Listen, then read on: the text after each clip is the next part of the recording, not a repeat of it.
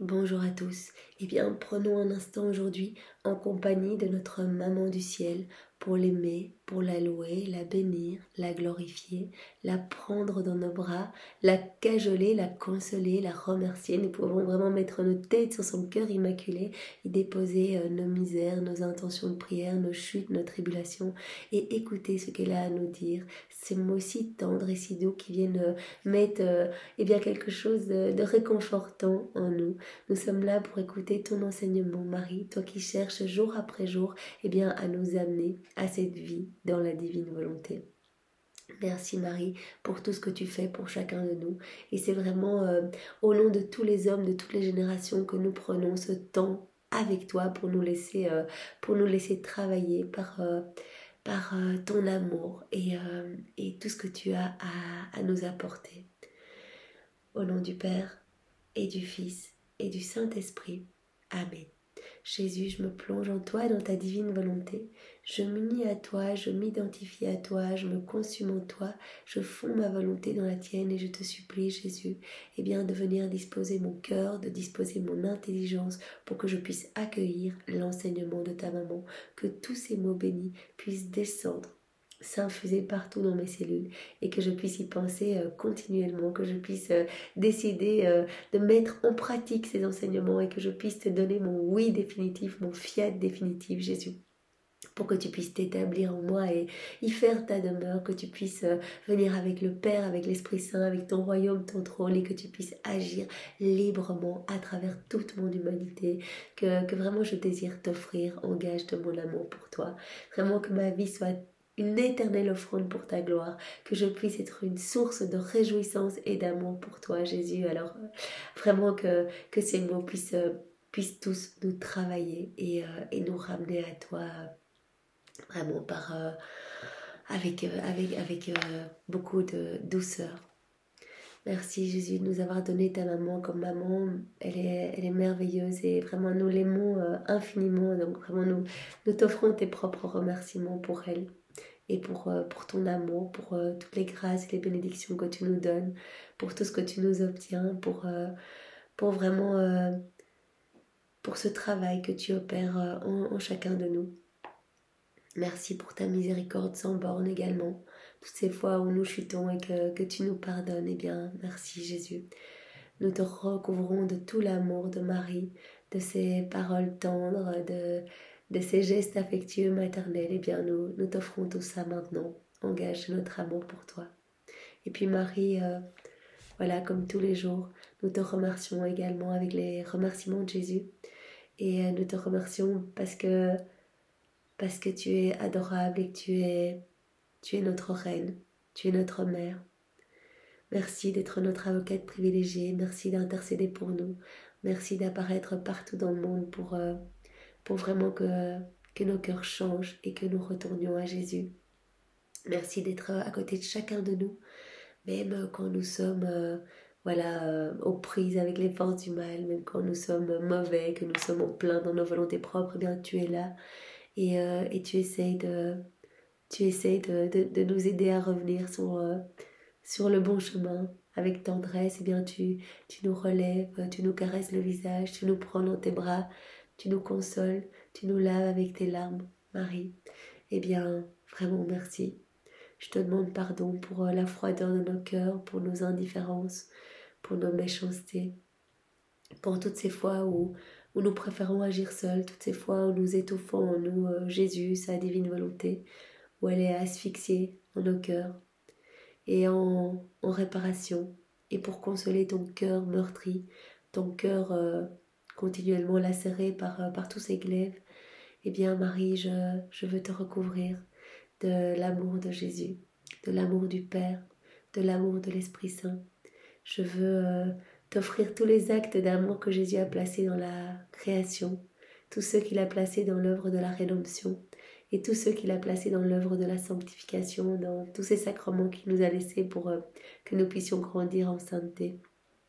Je veux te recouvrir de tout l'amour de tous les saints de tous les temps. Je veux t'offrir tous les actes d'amour euh, de tous les martyrs, de, de toutes les âmes qui t'aiment, qui aiment Jésus, bien sûr, euh, voilà, je refais tout dans, la divine volonté de Jésus pour que tout puisse euh, t'amener une gloire parfaite et amener une gloire parfaite à Jésus. Jésus a dit, euh, tous les moments d'amour que vous prenez avec ma maman, euh, c'est comme si vous les preniez avec moi. Ça me fait immensément plaisir que, que vous la reconnaissiez vraiment comme, comme votre reine chérie, votre maman. Alors Marie, voilà, on te recouvre de tout cet amour. Et j'y ajoute l'amour de toutes les âmes qui ont vécu, qui vivent et qui vivront dans la divine volonté. J'ajoute également, mais je t'aime. Et je t'entoure de cet amour pour que tu puisses recevoir continuellement une compensation euh, de tendresse et, d'affection. À chaque offense, eh bien, euh, reçois ce, petit baume consolateur, Marie, au nom de tous et particulièrement au nom de, des agonisants, au nom des âmes du purgatoire, au nom des pécheurs obstinés, au nom des âmes qui sont consacrées à Jésus et qui parfois euh, l'abandonnent, et au nom des âmes qui ont déjà un pied dans la perdition. Qu'il puisse y avoir cette réparation et cette compensation d'amour. Marie, Reine Immaculée, Ma Mère du ciel, je viens maintenant sur tes genoux, sur tes genoux euh, adorables et maternels. Je viens comme ton enfant chéri, je m'abandonne dans tes bras et je te demande, avec les soupirs les plus ardents, en ce mois qui t'est consacré, la plus grande grâce qui soit, celle de me permettre de vivre dans le royaume de la divine volonté. Je veux vraiment, euh, tu sais bien maman combien euh, j'y aspire et Vraiment, c'est, le but de ma vie, c'est pouvoir vivre dans la divine volonté. Alors, euh, aide-moi, toi qui es la reine de ce royaume admets-nous, chacun, admets chacun de nous ici, on est tous là à te demander cette même grâce, eh bien admets-nous comme, euh, comme tes enfants pour vivre dans ce royaume, que ce ne soit plus un royaume désert, mais qu'il soit peuplé de, tous les hommes, voilà, que, que, que, chacun puisse recevoir euh, par ce moment que nous prenons euh, maintenant avec toi, Marie, dans la divine volonté de Jésus, bien que, que, tous les hommes puissent recevoir quelque chose, une petite semence de, de la divine volonté, que voilà, cette semence puisse grandir, qu'il puisse s'ouvrir à cette grâce de, s'unir à Jésus et de, voilà, de, s'abandonner entre ses bras. Nous nous confions à toi, Reine toute-puissante, afin que tu guides chacun de nos pas dans ce royaume de la divine volonté, et nos mains dans la tienne. Tu nous guideras entièrement, afin que nous puissions vivre toujours dans la divine volonté. Tu seras notre mère, et à ce titre, eh bien, nous te remettons nos volontés propres, pour que tu nous les échanges contre la divine volonté. Même une gorgée, ben moi cela nous ferait immensément plaisir puisque vraiment euh, nous sommes euh, remplis de voilà de, de, ce qui résulte de notre volonté humaine, donc ce n'est que noirceur, puanteur, etc. Donc si Jésus pouvait mettre une petite goutte de lumière dans notre âme, eh bien euh, déjà nous, nous ressentirions les joies célestes du ciel. Échange-nous notre volonté propre contre, contre la divine volonté, Marie pour que nous soyons assurés de ne jamais sortir de son royaume. Nous te prions aussi, Marie, de nous éclairer sur ce que signifie volonté de Dieu. Aide chacun de nous à comprendre eh bien, ce que Dieu attend de nous.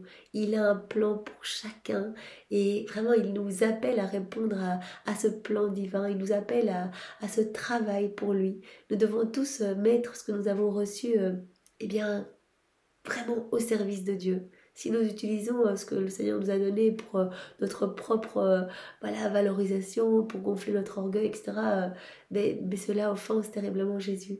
Mais si nous mettons tout cela à profit pour travailler à l'avènement du royaume, eh bien, vraiment, nous allons répondre à ce que Dieu attend de nous. Il attend que nous nous abandonnions et que nous prenions tout comme venant de ses mains divines. Alors Seigneur, donne-en-nous la grâce. Marie, au nom de tous, dans la divine volonté de Jésus, nous t'honorons et nous te disons, je te salue Marie, pleine de grâce, le Seigneur est avec toi. Tu es bénie entre toutes les femmes, et Jésus, ton enfant, notre Sauveur, notre Roi, est béni. Sainte Marie, Mère de Dieu, prie pour nous pauvres pécheurs, et répands ta flamme d'amour dans tous nos cœurs, maintenant et à l'heure de notre mort. Amen. Dame souveraine et très chère maman, je vois que tu m'appelles pour que je ressente toute la force de l'amour qui brûle en ton cœur. Tu veux ainsi me faire comprendre ce que tu as fait pour ta fille dans le royaume de la divine volonté. Marie, tu nous appelles à venir près de toi, tu as le cœur tout brûlant d'amour et tu veux nous montrer euh, tout ce que tu as fait pour chacun de nous alors que tu étais encore euh, dans le sein de ta maman, euh, tu étais déjà sur les genoux du Père, tu étais déjà au pied du trône de l'Éternel et tu as intercédé pour nous, tu vraiment tu priais pour nous et tu nous reconnectais à la divine volonté. Qu'il est beau de te voir marcher au devant de ton Créateur. Au bruit de tes pas, il te regarde est touché de la pureté de ton regard. Il t'attend pour contempler ton sourire innocent, pour te sourire à son tour et pour goûter à la joie d'être avec toi. Quelle joie euh, nous pouvons voir Marie euh, en te contemplant au pied de la Trinité, là comme ça, dans ces échanges d'amour continuel, toi qui es rempli de, de toutes les grâces, de toutes les bénédictions, de, de puissance, de sainteté, de beauté, euh, de fraîcheur, de pureté, etc. Tu es rempli de tout et, et tous ces débordements d'amour eh repartent vers la Trinité en incessant cycle d'amour et de retour d'amour. C'est si beau de, de vous voir dans, dans cette réciprocité, dans cette harmonie d'amour et nous voulons euh, te ressembler, Marie. Nous te prenons vraiment comme modèle. Nous voulons nous aussi être dans ces échanges d'amour avec notre Créateur. Ah, de grâce, Sainte Maman, au milieu de tes joies et de tes chastes sourires échangés avec ton Créateur, n'oublie pas ta fille, en exil, et qui a besoin de toi. Car bien souvent, hélas, ma volonté humaine qui me surveille à la dérobée voudrait m'emporter loin d'ici, pour m'arracher au royaume de la divine volonté. Maman, je veux rester près de toi parce que je sais bien combien ma volonté euh, humaine euh, voilà, prend chaque fois le dessus et combien je chute facilement, combien il est facile pour moi de, de glisser à nouveau dans, dans, les choses du monde. Alors, euh, je voudrais que, que, tu me gardes toujours près de toi pour que, pour que je ne quitte jamais la divine volonté. Fille de mon cœur, ne crains pas, je ne t'oublierai jamais et nous serons même inséparables si tu fais toujours la divine volonté et si tu vis dans son royaume. Marie, nous dit que voilà, si euh, on, on, essaye de, vraiment de, vivre dans ce martyr de l'intention, d'être toujours unis à Jésus dans nos petites actions du quotidien, c'est pas difficile en soi, c'est Jésus qui fait le boulot avec Marie. Donc si on donne notre oui le matin, on fait notre acte préalable le matin avant d'ouvrir les yeux dans notre lit, Jésus, je te donne ma volonté, je te donne ma vie, je te donne cette journée, je te donne euh, tout ce que je suis, tout ce que je vais faire, je veux que tout te glorifie, que tout euh, t'amène de la joie, etc. Et puis tout au long de la journée, on fait les actes continuels, on donne notre oui pour chacune des petites actions. Voilà, on peut dire, euh, voilà, toute cette heure-ci, Jésus, je veux vraiment la vivre euh, pour qu'elle puisse, euh, qu'elle puisse t'honorer, qu'elle puisse t'amener l'adoration la plus parfaite au nom de tous les hommes. J'entends réparer par, par tous mes mouvements conscients et inconscients, j'entends réparer pour toutes les offenses que tu reçois. Vous voyez, on donne notre oui, on est dans ce martyr pour appeler eh bien, Jésus dans, dans toutes nos actions. Marie, elle dit, si tu fais ce petit effort-là, et que tu demandes cette grâce de la vie dans la divine volonté, ne t'inquiète pas, tu vas recevoir toutes les grâces.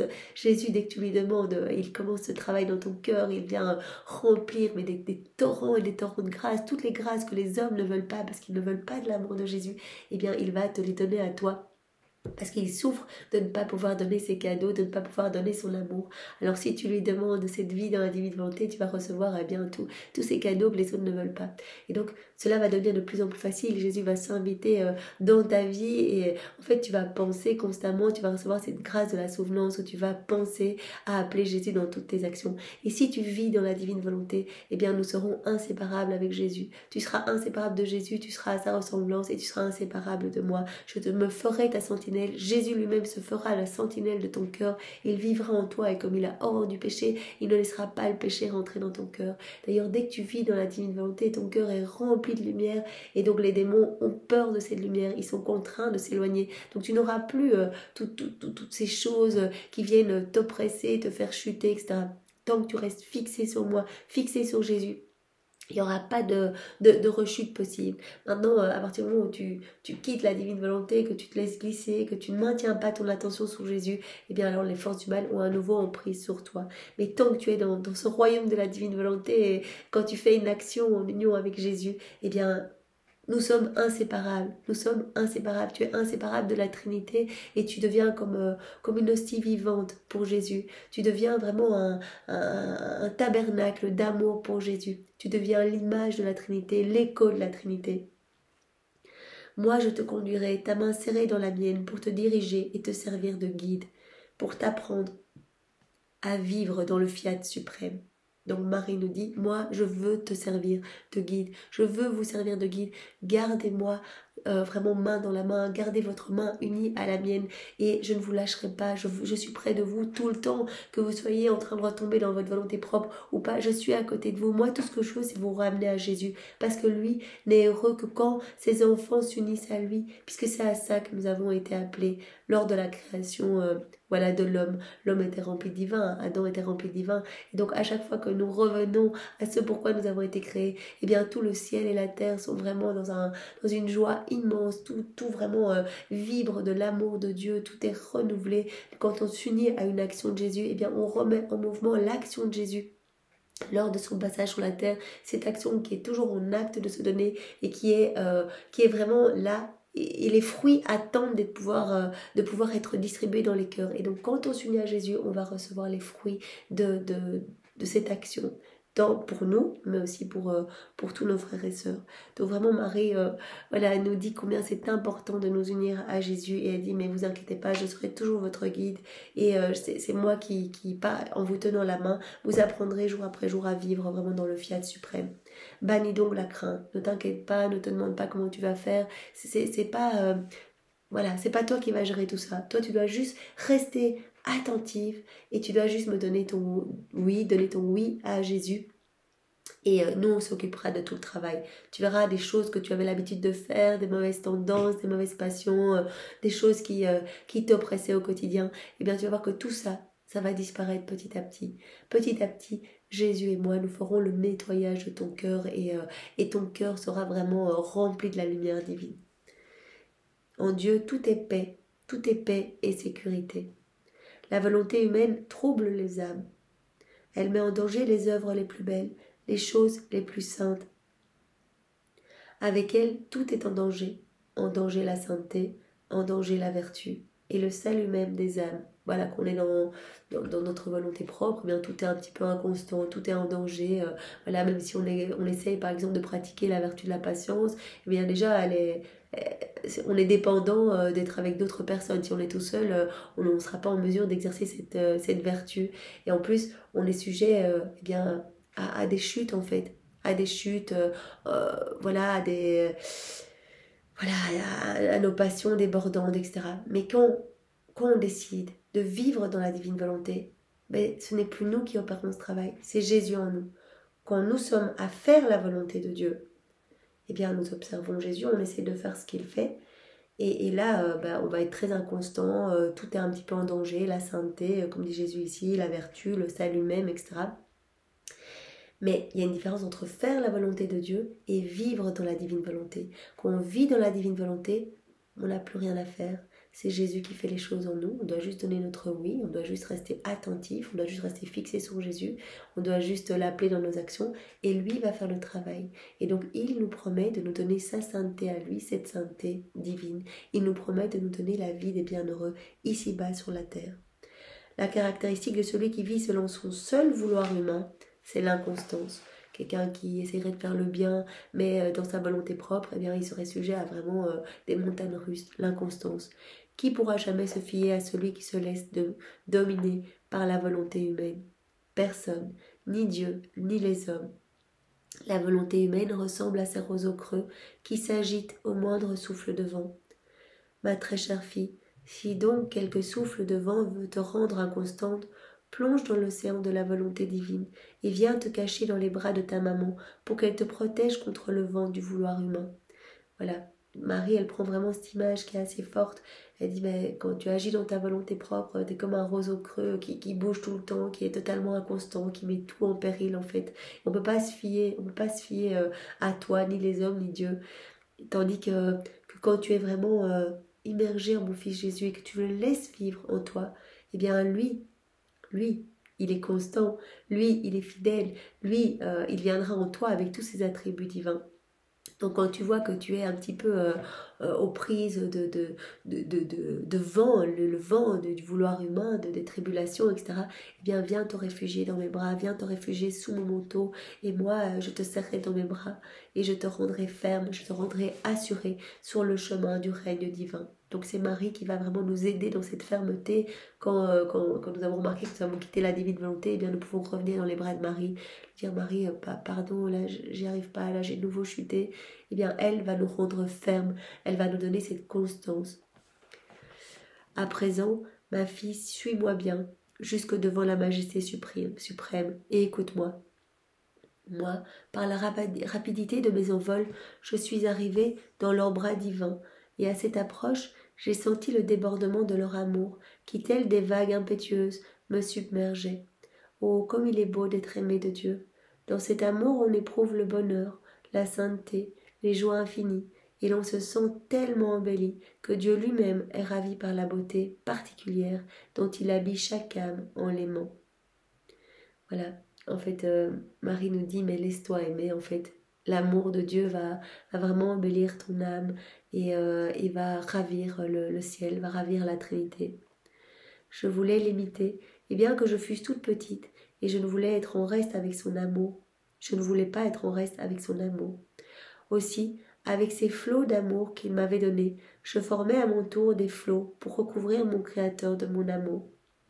Donc voilà, comme Marie nous le disait précédemment, euh, elle était vraiment continuellement dans ce flux et reflux d'amour, dans ce flot continuel d'amour. Donc elle recevait euh, des torrents d'amour qui l'embellissaient euh, continuellement et elle rendait de l'amour à son Créateur. Elle donnait Dieu à Dieu en fait. Elle ne donnait pas son amour à elle, mais elle donnait tout, tout, ce dont elle était remplie. Et bien tous ces débordements repartaient. Donc elle donnait ce qu'il y avait de plus beau, de plus parfait, puisque tout ce qu'elle recevait était divin et donc elle redonnait du divin à Dieu. Ce faisant, je souriais, sachant que mon amour ne, pourrait recouvrir l'immensité du sien. Et pourtant, j'essayais de le faire, et sur mes lèvres naissait un innocent sourire. L'être suprême souriait à mon sourire, et trouvait son bon plaisir à jouer avec ma petitesse.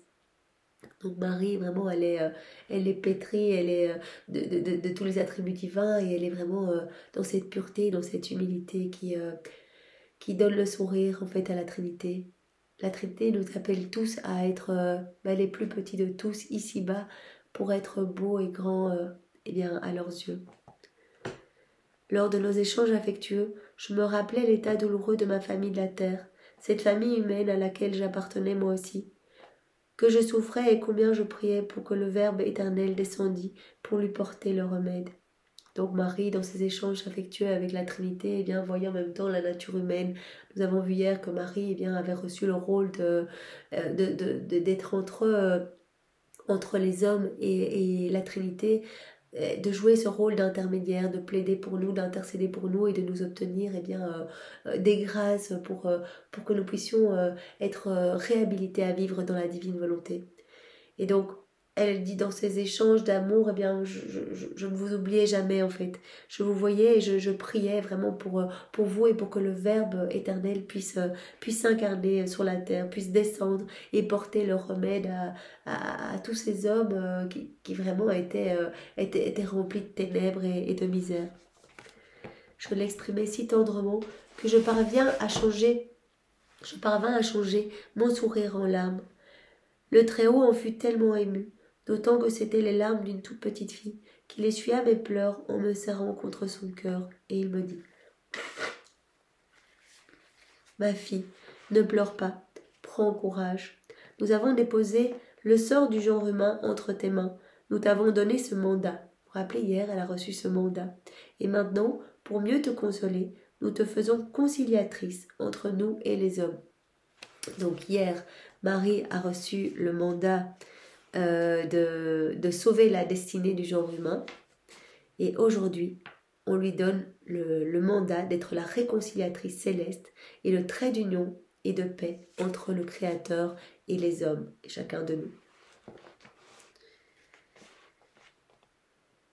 Nous te faisons conciliatrice entre nous et les hommes. C'est donc toi qui es chargé de nous réconcilier avec l'homme. La puissance de notre vouloir que nous avons établi en toi nous commande de donner le baiser de paix à la pauvre humanité déchue et en danger. Qui peut te dire, ma fille, ce qu'éprouva mon cœur devant une telle condescendance divine? Mon amour était si fort que je me sentais défaillir, et tout oppressée, je souffrais intensément, cherchant un autre amour qui puisse soutenir le mien. Marie ne savait pas encore que ça allait être elle, euh, la mère de Jésus. Donc elle été dans toutes ses prières, donc là elle est encore dans le ventre de Sainte Anne, mais, mais nous savons d'après les écrits de Maria Valtorta que pendant toute son enfance, Marie priait, priait vraiment pour que, pour que, le, que, le, que, le verbe, que le Verbe éternel puisse s'incarner sur la terre, puisse descendre sur la terre et sauver l'humanité. Elle, elle avait demandé vraiment dans ses prières d'être la servante de la mère du Seigneur. Elle savait pas encore que ça allait être. Donc là, elle reçoit cette mission d'être euh, la réconciliatrice entre les hommes et, euh, le ciel, de pouvoir vraiment euh, voilà, donner ce baiser de paix au nom des hommes au Créateur. Maintenant, un mot pour toi, ma fille. Si tu m'écoutes, si tu mets de côté ton propre vouloir, si tu réserves au fiat divin une place royale en toi, tu seras toi aussi aimé d'un amour particulier par ton Créateur. Tu seras son sourire, tu le combleras de joie, et tu seras le lien de paix entre le monde et Dieu.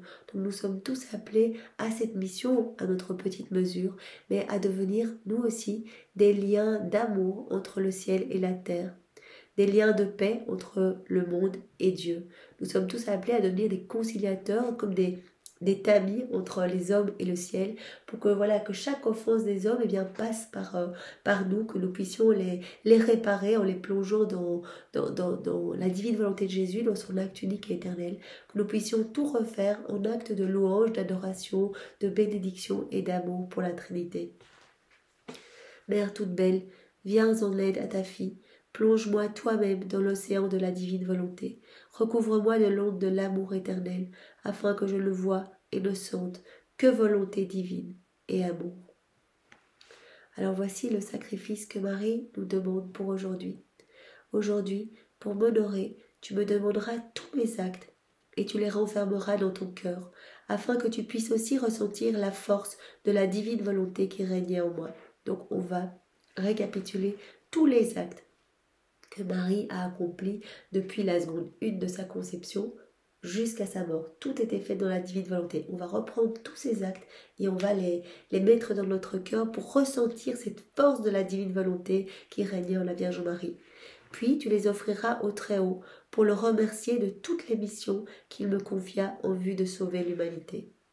Donc on va les faire nôtres pour ressentir la force divine euh, voilà, qui, qui imprégnait la Vierge Marie et puis on va tout offrir au pied de la Trinité, au nom de tous les hommes, pour remercier eh bien, le Père, Jésus et l'Esprit Saint pour, toutes les missions qu'ils ont confiées à la Vierge Marie, euh, cette mission de, de sauver l'humanité. Elle nous donne une prière pour aujourd'hui.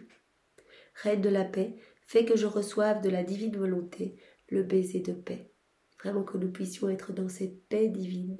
Alors Marie, obtiens-nous euh, ce baiser de paix, obtiens-nous euh, la grâce vraiment pour, tous les hommes de tous les temps de, de, recevoir de la divine volonté, euh, ce baiser de paix, que nous puissions être réhabilités à vivre dans la divine volonté. Merci Marie pour tout ce que tu fais pour chacun de nous. Merci avec les remerciements de Jésus. Au nom du Père et du Fils et du Saint-Esprit. Amen. Soyez tous bénis et passez une belle journée dans la divine volonté. Au revoir.